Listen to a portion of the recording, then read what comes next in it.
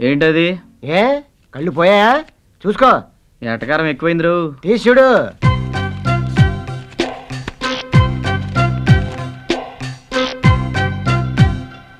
ఏయ్ మేనేజర్ పోస్ట్కి ఇంటర్వ్యూ వచ్చిందిరా. తెలుసు. జాబ్ ఇప్పించింది నేనే కదా. ఆ? ఆ, అదే లెటర్ ఇచ్చింది నేనే కదా అని. కానీ ఈ జీకేఎం గ్రూప్కి నేను అసలు అప్లై చేయలేదురా.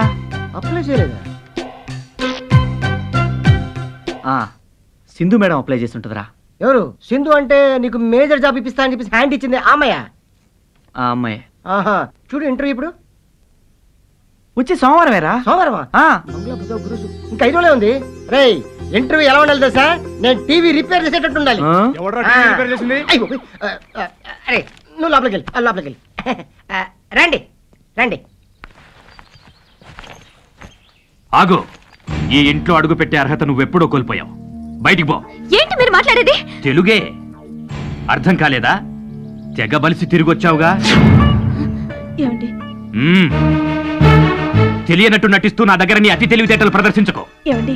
అది ఏంటే? నీ సపోర్టా? పెళ్ళి చూపులకు వచ్చిన వాళ్ళు నీ ముందే నన్ను చీకొట్టి చవటాన్ని బిర్ది చెల్లారుగా. పది మందిని పిలిచి పప్పన్నం పెట్టి సంబరం చేసుకోమంటావా? ఛీ! కొవ్వు పట్టిన కూతుర్ని కని నా కొంపకి కొరివి పెట్టించావే.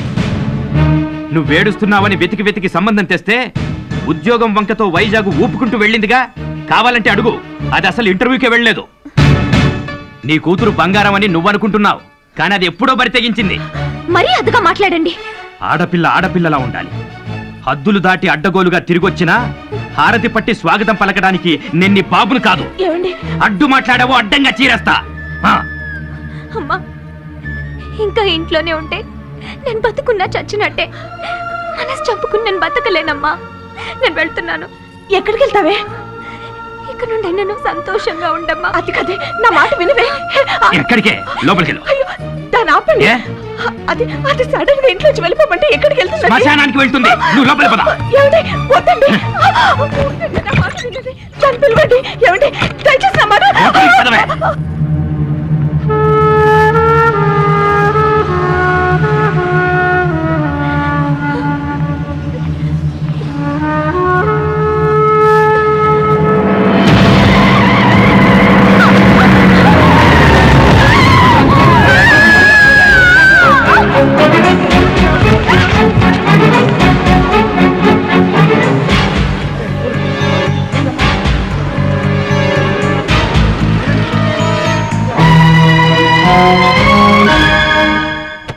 కంగ్రాచులేషన్స్ మిమ్మల్ని వైజాగ్ బ్రాంచ్లో మేనేజర్గా అపాయింట్ చేస్తున్నాం. Thank you sir thank you very much Raghu!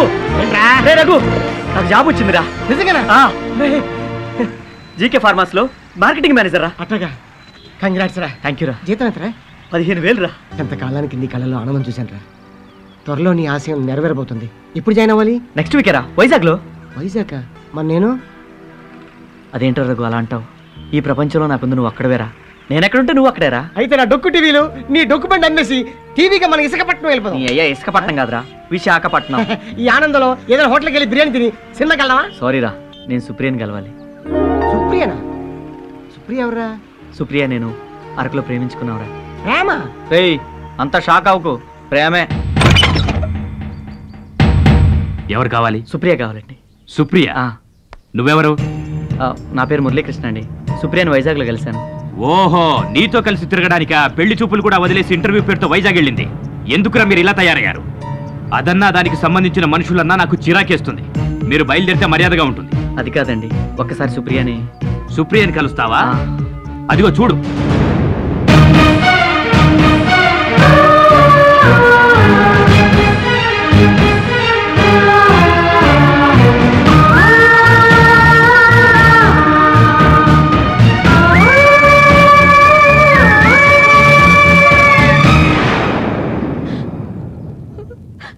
చూశావుగా? దరిద్రం వదిలిపోయింది. మీరు చెప్పేది వివరాలు చెప్పి ఓదార్చాలా? చూసింది చాలు. మీ సంతాప సభలు బయటికెళ్ళి పెట్టుకోండి. వెళ్ళండి. అది కాదండి ఒక్కసారి నా- ఓయ్, ఒకసారి చెప్తే నీకు అర్థం కాదా? వెళ్ళవయ్యా.